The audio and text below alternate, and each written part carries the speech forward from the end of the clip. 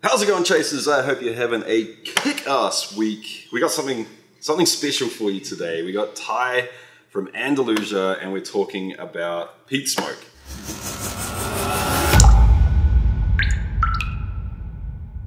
Welcome to Still It everyone, I'm Jesse and this is the channel all about chasing the craft of home distillation and making it a legitimate hobby. I wasn't lying when I said we had something special. Uh, first of all, I get to taste this again, which is always a pleasure.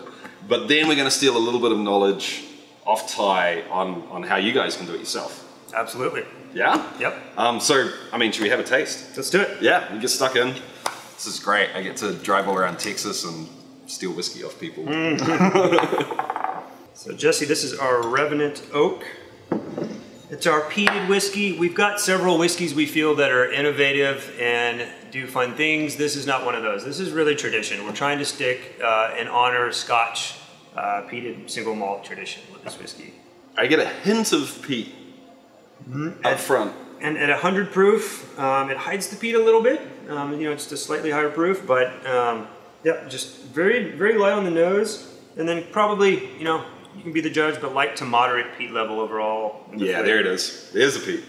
It's got a little nice, um, a little vanilla and a little kind of creme brulee sweetness that you know you're not often getting in scotches. These uh, used bourbon barrels um, had just a little bit of that vanilla left in them, and we were able to capture some of that. I think these are going to be used Garrison Brothers barrels. Okay, for right. This one. Yeah. Yeah, I'm interested to see what happens with a touch of water because I'm guessing it's going to kind of jump out of the glass a little, right? Especially with the aroma, you know, like you said, you're not picking up much peat at all um, on the aroma. I don't either, um, but yeah. Oh yeah. As you lower the alcohol, proof is lowered. Some of those oil, uh, oil, you know, oily, rich aromatic compounds like peat smoke are going to no longer be soluble in the alcohol, and they're going to pop out, and you'll be able to taste them and smell them. That is truly delicious. Absolutely awesome. Thank you, brother. So, we want to know how to make it. Yeah, And trade Absolutely. secrets, I get it. we don't have many. We'll, we'll, we'll get what we can out of them. so obviously the first the first thing that's really amazing about this is that you guys smoke your own grain. Correct. There And- are some, uh, you know, distilleries outside of Scotland doing peated whiskies. Um, most of them are are ordering peated malt from Scotland. Def- Definitely nothing wrong with that. We actually some of our first batches of Revenant Oak were that exactly. But the construction of our smokehouse allowed us to get a little more versatile, and we were able to source some peat and smoke our own barley with peat. And that's just been a big win for the distillery, um, creativity wise, giving us a lot more flexibility with types of peat, levels of peat, um, smoking duration, all those things Yeah. to play with. And it's just a cool it's a cool story. Yeah. And We- the we- whole place smells like peat for a few days. Yeah, yeah. This is great. Yeah. Yeah, this is Texas. We smoke meat. Um, you know, it's funny around here. We don't eat a lot of fruits and vegetables at the distillery. A lot of, a lot of, a lot of barbecue and, and bread, and and so yeah, Also we're smoking tacos. anyway. And uh, so yeah, uh, might as well smoke them all. The first step I'm assuming is sourcing the peat, right? Exactly. Um, peat's tough to find. You know, you're Yeah. shipping dirt uh, across the ocean. Um, really doesn't make a lot of sense. The best source where we finally found it was kind of a retail application for people that are from Ireland and Scotland and grew up uh, burning peat in their fireplaces at home. Um, they're now shipping bricks of peat around the world for those people to burn in their fireplaces and have that smell of home. Yeah, right. And so, yeah, Amazon is where we're getting our peat. It's the best place, uh, the best, most consistent. So we'll get a box. Yeah, that's maybe 20 pounds, and that'll allow us to do a whole barrel of whiskey. Is there a certain brand or Right now, um, you know, we're going to try as many different varieties as we can, and just kind of see um, what we can what we can get and what we can try. There's not a lot available to us yet, Yeah. but uh, if anybody knows of any good peat sources, we're here, we're all ears. So, Yeah, Like, drop some comments in the comment section down here, guys, if, if you know of anything. I'll attempt to put a link in the description, guys, for the peat. I, I haven't looked into it, so I don't know how. I'll, I'll do my best. You want to describe the, the general process before Yep. we get into specifics? and we Most uh, peated malt um, that you get from Scotland, the peat um, is imparted into the grain as part of the, the last step of the malting process, kind of the kilning and the drying process, or, or maybe other process steps of the actual malting itself. Right. Our barley, our malted barley is already malted, um, and so we sort of kind of take a couple steps back and we will wet the grain very slightly, and that's going to allow the grain to pick up a lot more smoke. Um, if we would try to just to, to smoke the dry grain, it just wouldn't be nearly as smoky. Barley does work very well because it has a rough husk to it. Right. And If you you want were- surface area, Yeah, right? Yeah, want, yeah. If you were to try to smoke corn, it doesn't work nearly as well. It's got a shiny surface to it, and there's just nothing really for the smoke to hold on to. And so we want kind of a rough, bumpy surface, and then we want it to be sticky. Um, and so wetting the grain gets a little bit sticky, and, and the, the smoke will actually grab onto it a lot more. Uh, we'll load the grain to, to, to shallow racks and put it into our smokehouse, and then um, smoke it for about 24 hours with uh, 24 hours, with wow. Yeah. Yeah. Um, so we'll load small briquettes in, you know, one at a time every couple hours to keep the fire going, and then we'll load it right before we leave this evening and kind of let it go all night. Do you want to describe the, the, the design of the smokehouse a little bit Sure, and talk yep. about why you chose that design of smokehouse? Absolutely. We have a, a separate firebox. Uh, for us, it's a stainless steel drum. We've got a little firebox kit that allows us to, to have a little door, um, and we can build our fire inside. And we've got a pipe that runs maybe about six feet from the firebox to the smokehouse. And that's important. We're really looking to, to cool the smoke. Right. Having the firebox next to it also ensures you're not getting any direct heat from the firebox. If the fire was below or in the smokehouse, that would be a problem. Which is cool if you're kilning. Uh, Right, Or, or, or smoking meat, or, Yeah, right, or if yeah, you're yeah. trying to dry in the bar or something like that. That's, but that's great. not what that heat. not what you're doing. We're looking to keep the smoke temperature low. We don't want to get into higher temperatures that will degrade your enzymes. You know, this this Right. is barley that we need for making a mash later on.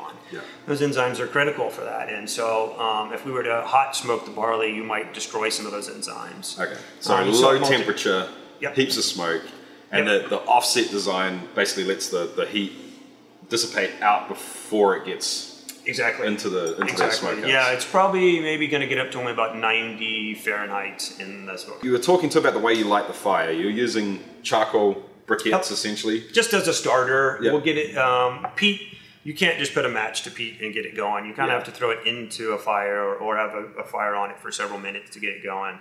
So we'll get a charcoal layer down.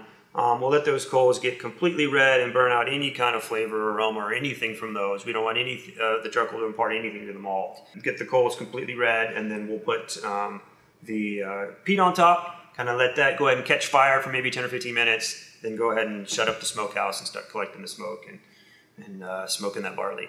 I watched you load the trays, and you, you, you mentioned that having a thick layer of barley is Mm-hmm. is not really helping anything, right? Right. It's not even though with the the trays have screen bottoms. Um, we were hoping to maybe you know see if we can get a lot of smoke flowing through the grain. It, that just really doesn't happen. It's Right. really just smoking the exterior surface of anything that it touches. Okay. Um, so what we'll do is we'll load the the screens, um, spread it out, and then kind of give it a little bit of a hilly form to it so that it has a little more surface area right before we wet the grain. Yeah, cool. Okay, and is there anything specific with the design of the trays themselves? Like, do you think that having the mesh bottom is really doing anything? Perhaps you know we might be getting a little bit of smoke um, exposure on the bottom layer Right. of the grain. Yeah, that's our Yeah. hope. But but if you wanted to do it at home and you use an oven tray or something, you don't. You could probably be- use a cookie sheet, and Yeah. as long as you're in an environment that's fully inundated with smoke, you know, our Right. smokehouse, you can't see your visibility is six inches in there. Yeah. so, you know, it's not going to be too much of a problem getting exposure. And Yeah. so, most people at home can, you know, you, you know, if you're willing to do it in, a, in an oven, or if it's a little smoky, or if you can do it in some kind of smoker outside, um, yeah, having just um, a little bit of smoke exposure over it, um, you know, just constantly is all you need. And and on that note, you said you sort of you spread the grain out in a way that has peaks and valleys that Correct. increases the surface area of the I want to say water line, but the grain line. Yeah. You know, the, the top of the grain. just, to- more grain touching smoke is what we're trying to get. Yeah, Yeah, and so little peaks and valleys and spreading it out in a, in a really hilly way kind of helps as well. So once you've smoked the grain, is there any specific way that you're using it in in your mashes, like uh, ratios or? Yep, absolutely. Yeah, we do a pretty heavily smoked malt. We don't have a you know a ppm or a phenol reading like wish we did, um, and uh, for our peated malt, but. Um, I believe it's way smokier than any of the commercial malts. So our mash bill is pretty low. You know, without giving you out exact numbers, it's it's probably less than ten percent Oh, wow, of our total okay, malt. yeah. Our total mash bill is our smoked uh, malt. Now, um, our whiskeys are smoky. They're not Ardbeg Laphroaig smoky, um, No. but the peat is definitely there. Oh, it's present. And yeah. I think a lot of that has to do with our still. Um, I've, I've tasted whiskeys from other distilleries that are a much higher peated malt content. And the final whiskey is not that smoky because there's some kind of column or something like that that the vapors are traveling Right. through. We have a very, very basic pot still um, with just hardly even an onion on top. I think that's capturing all those rich oils in the smoke better than than even if you had a column that was completely open or something like that, you would still get the reflux and the rectification that would probably eliminate some natural yeah. Reflux. We get uh, we've got to do at least two distillations, and some of our products are three distillations, to, um, you know, to be to be drinkable at all. Yeah, right. Um, so yeah, single pass is not an option for us at all. Yeah. yeah. because you're in Texas and because things mature so freaking quickly with the heat and the temperature swings, these guys are making really tight cuts, even for smoky new make. And it is it, it, it does blow my mind that you're getting this much smoke Yeah. in such a pretty whiskey. Knowing that our whiskeys aren't going to be put back for seven years, we're doing Yeah. very tight cuts. You know, Yeah. right now the goal is for everything to be a minimum of two. Um, you know, hopefully we can get up to three, perhaps, but I don't think we'll ever get more than three or four years, especially on our new barrel whiskeys. Those are going to be just too too tannic and oaky Yeah. after three or four years in the Texas summers. You'd have to do something crazy like build it, like dig a cellar or Get a hundred gallon barrel. Or something yeah, like that. yeah, like a vat. yeah, yeah. It's not bad. Yeah, big foodie or fooder. Yeah, something yeah, yeah, yeah. You have it sitting right in the corner there. Mm-hmm. so when I get back to New Zealand, it's actually been really hard for us to buy commercial smokers in New Zealand. It's only just starting to take off. And Hmm. Just like the smoked meat phenomenon. oh yeah, or- yeah, Okay. yeah, yeah, like an offset smoker. Really? Good luck, dude. Wow. Wow. I, I saw a Traeger grill at a local hardware store for the first time about two months ago. Yeah. I think they've been around a bit The longer. pellet grill. Yeah. Yeah, it was pretty tricky. they're supposed to be neat things. Yeah. Yeah. Um, but what I'm thinking of doing when I getting when I get home is uh, instead of spending it's almost two grand for a Traeger in New Zealand, it's crazy. Uh, is getting uh, one of those little chest gas powered smokers. You, you know the ones I mean, right? Yep. Do, do you have any suggestions on anything I could do to take the process I've seen today and, and apply it to that kind Yeah. of machinery? Yeah, absolutely. I know as long as you get good quality chips or chunks, I find Right. some, you know, the smaller the chip, the drier and kind of the more aged it's going to be. I find chunks are definitely going to be a little bit better if you can if you can have a smoker that can handle a larger size chunk, you know, that would be better. Um, but if you're but if you're limited to chips, that's no problem at all. Um, you know, most of those smokers are just going to have a little tray. You'll wet your chips usually ahead of time, so they'll do a nice slow smolder. But yeah, there's no reason why you can't mimic that exact process of what we just did in a, in a small home smoker. Okay, cool. The the one issue I see with that is because it's the, the gas is inside the smoker to make the, the Yep. wood smoke. I'm going to have problems with temperature control, aren't You I? would, and um, you know, if you did go electric, that would be a good option Right. for smoking malt. I think a better option because then you can keep those lower temperatures. Now, um, I've tried some things with mine at home. You do have to reach a minimum temperature with those just to get the wood to start smoking and burning. Of course, and yeah. that's often going to be higher than maybe what you want your barley to be. Okay, cool. So you know, just keep a keep a good eye on the temperature. And if you can keep it under 140, that's a good thing. Okay. Um, you know, temp- enzymes start to be active in the 140s to 150s, and so we don't want to start to activate those. Maybe even a little cooler, perhaps. But uh, if we can get it super smoky and we can get it down to, you know, like you say, less than 10% of the grist, I, I mean, what's the problem, right? destroying your enzymes wouldn't be a problem. Because we've got the other 90% of the grist that's Excellent going to do the heavy lifting. Yeah. excellent point. Uh, the other thing that I do have is a smoke generator. So I'm Mm. thinking of putting a hole inside of the, the little cabinet. A smoke gun type thing. Exactly. Yeah, Yeah. Mhm. yeah, yeah So that'll work. That would work. yeah, absolutely, man. Awesome. Just make sure you're good quality input ingredients as Whatever always, and that got. includes the wood. Yeah. You know, sometimes if you're in places where the wood is very exotic, it's hard to get. You're, Right. You're, mailing from Amazon or eBay or something, and, and your your your quality might be questionable or the age or something like that. So that's tough. But yeah, like I say, the larger and fresher the chunk. Obviously, you don't want wet wood. Right, But right, right. Um, it needs to be seasoned and dried. But yeah, good quality chips, and you should be should be good to go. I want to run this little guy past you. Let's do it. This is a smoked whiskey, and I will tell you right now, it's it's pretty young. It's only I think eight months old, Okay. and that's eight months in New Zealand, which is much more like Scotland. Okay. so it's definitely young. I see. Yeah. Uh, but this is smoked with Manuka wood, which is uh, a native wood in New Zealand, and this is kind of the go-to for New Zealanders, especially for smoking fish. Okay. Cheers. Cheers. Oh wow, beautiful. Yeah. I've had a lot of Texans tell me that uh, Manuka is kind of similar to mesquite. I'm getting that right away. Almost even a hickory, a very spiciness that uh, Yeah. you. It, it, it's spicy, but on the herbal side. It's a, it's a tough one to describe. I mean, we were talking before. How do you describe any smoke flavor if you don't just get to taste it? Until you start playing with a lot of woods and doing a lot of side by sides, it's very hard because you'll taste barbecue one one way and then try it in like, a few weeks later and try to compare those experiences, and that's tough. Yeah, you got to sit down with you know several spirits with different woods, and boy, that is beautiful. Uh, this is 100% smoked grain. The, like the grist is Yeah, just yeah. smoke. Yeah, it's heavily smoked. Um, so I do think I'm going to keep this, age it, and then potentially blend it back with just like a single malt, Brilliant. essentially. Yeah, yeah, yeah. Um, but yeah, what do you think, man? And, and I, I didn't tell him before, but What's the proof? I'm not precious on this stuff, so you can uh, uh, 60%, Okay. 100, 120. So wow, it's just going to explode here, isn't it? Outside. So our discussion about the the Maui wood. This is some New Zealand wood, Okay, see and it's, and it's 100%. It's a bomb, man. It's good. Moose is going to love this too. What is the Can you read wood? this right? uh, Manuka. It's a, it's kind of like tea tree. So yeah, it's, they were saying, and I It's sort of agree. It's kind of It's a- mesquite, hickory almost. It's got a phenolic bite to it, like a like a peat almost. Uh, that finish.